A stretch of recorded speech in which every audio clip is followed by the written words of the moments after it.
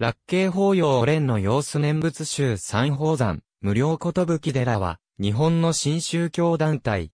仏教系浄土門の単立宗教法人である。総本山仏教の王道総門兵庫県加東市に、ある仏教の王道を総本山とする。また、発祥の地、京、別格本山は、京都市西京区嵐山山の下町にある。1979年12月19日、京都府知事より、宗教法人、無料ことぶき会として認証された。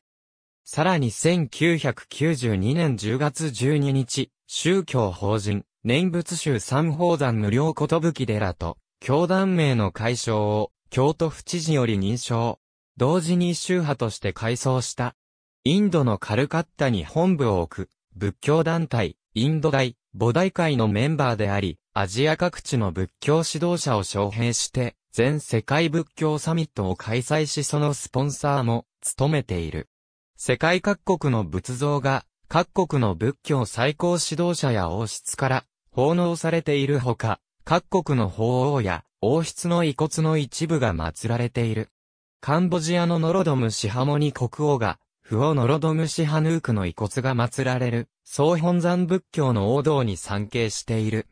2017年2月4日には、仏教の王道で、前年10月に崩御した大国王、ラーマ9世の百花日追悼大法要が営まれた。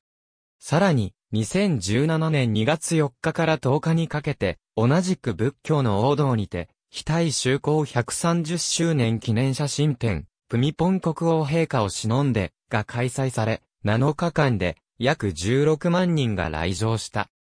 南側より境内を見る、ラッケー式典で挨拶をする、シアヌーク国王宗教法人法においては、単立宗教法人であるため、いかなる宗派の参加にも属さず、また、宗派とはみなされないが、一方で、京都新聞の記事のように仏教の一宗派との見方もある。設立時期からは、新宗教と区分される。なお、教団は、月刊誌において、日本の仏教第14宗であると主張している。釈尊の教え、すなわち、仏教経典を元とし、念仏を遺書とする。仏教は、知恵の宗教である。人としての道である、死音を大切にし、私たちは生かされていることを自覚する。和国の教主、聖徳太子の17条憲法の精神により、重化条は、1987年年半回、改祖により制定された。数多くの道具が三草山山六にイラカを重ねる。改祖延神帝は、新言宗総本山高野山館長、新言宗総本山高野山金剛峰寺第395世ザスの臨神大僧正より、樹海特度を受けて、弟子となった。高野山を降り、京都の嵐山に世を結び、釈尊が説かれた念仏をよりどころとして、一切主上サイドのため、宗教法人、無料ことぶき会を発足後、念仏宗三宝山無料ことぶき寺を改装した。改祖は、全知識と呼ばれており、諸外国を歴訪し、仏教の教主、釈尊の原点に戻れと提唱している。1993年3月、第二祖に奉仕を授け、同1993年5月、保守の座を退き、陰性。宗教法人設立より12年前の週刊、産経によれば、名詞の肩書きに、新連判断、運命学とあり、いろは48文字とサイコロの組み合わせにより人の運命を予言する、サイコロ予言者と紹介した。感銘を受けた有名人やその夫人たち3000人近くが名を連ねて、クセ先生講演会を結成、世の中の注目を浴び一世を風靡したとある。1976年4月に、元信徒の一人が、宗教に名を借りた、詐欺行為とし損害賠償を求めて、神戸地裁山ヶ崎支部に仮処分申請したのを、きっかけに、被害者同盟を結成、祈祷、鑑定料の返還を求める動きが表面化した。翌1977年4月、祈祷、官邸は元より一切の原セ利益を廃止、法一本になった。その後、1979年12月に前身である宗教法人、無料寿会を発足した。教団は、月間無料寿211号において、その歩みを振り返り、まず、開祖は、一切主張を再度するにあたって、仏法の魔門に入らしめる方便として、現世利益の仮門より始めた。すなわち、迷いの主張を救う手段として、人々の悩みや苦しみを、古代より、仏教に伝承されてきたサイコロによって、それを方便として、第一歩を踏み出したとしている。軍、清水、宮川は、開祖に指示し、1993年3月、命名を得て、真海、喜び心、真空と合し、第二層相続。第二層のうち、群馬海が開祖より、宝刀を継ぎ、第二代保守となる。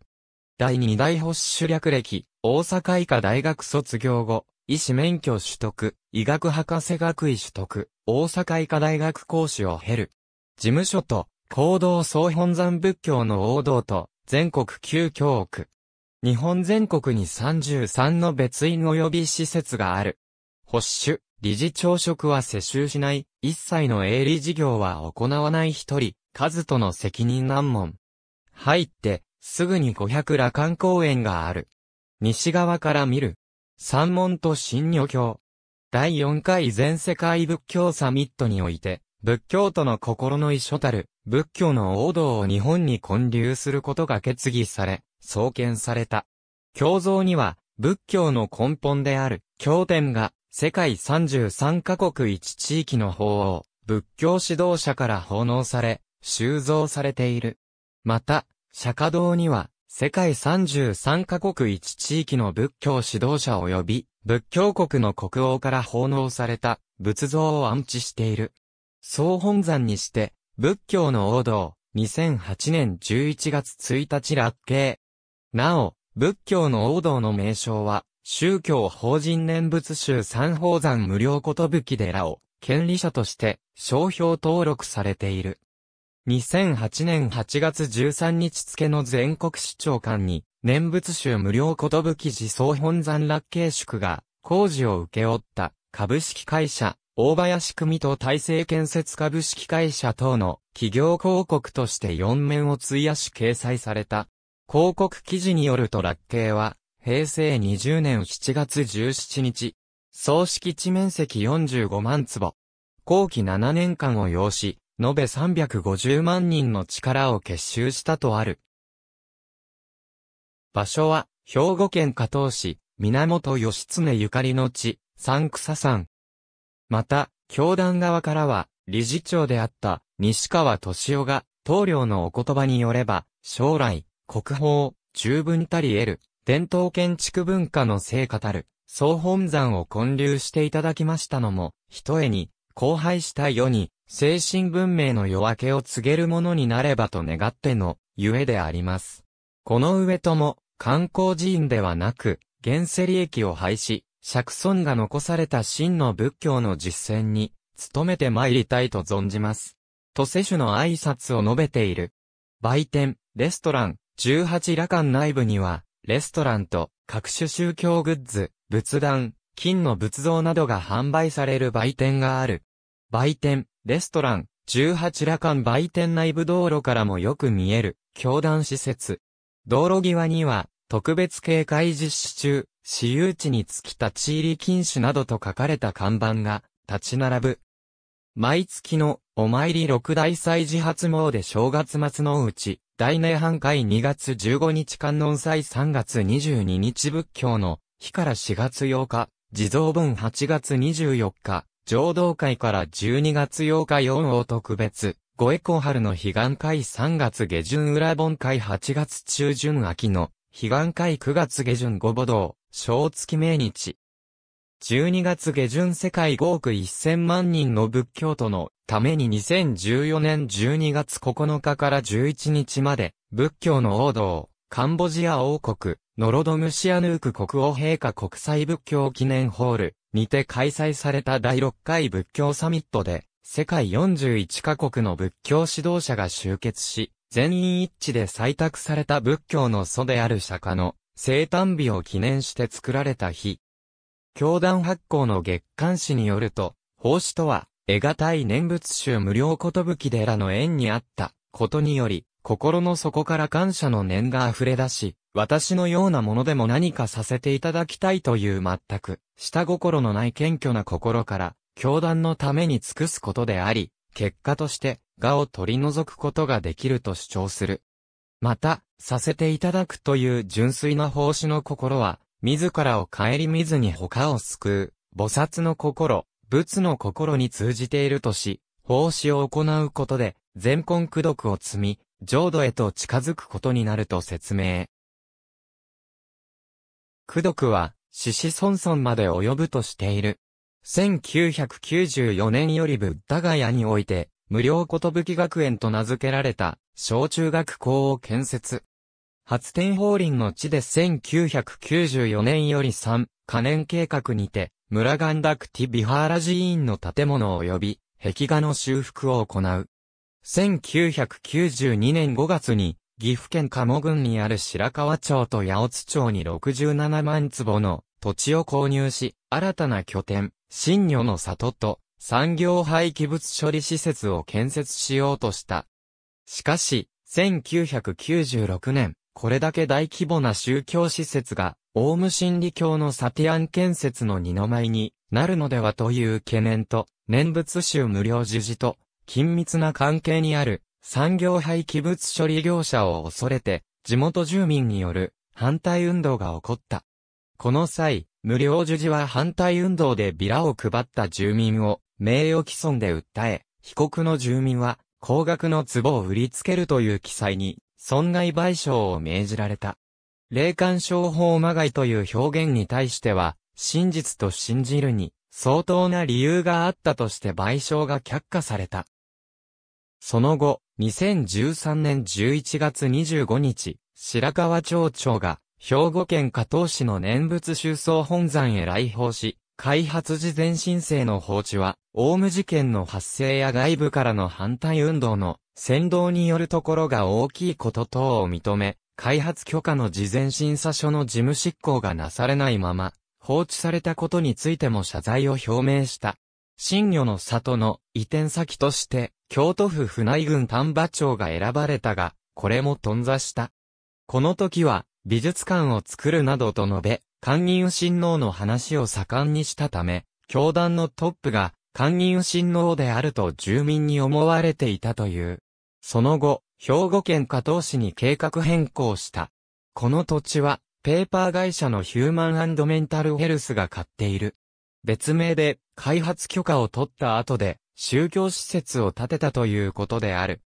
2007年には富士宮市にある天然記念物の白糸の滝の入り口にある富士急白糸の滝レストセンターの跡地を無料授事が取得していることが分かった。住民は反対運動を起こした。富士宮市は土地を取得し、富士山世界文化遺産センターにしたいとしているが、無料授事は売却は考えていない。なお、静岡県富士山世界遺産センターは2017年に、同市宮町にて開館することになった。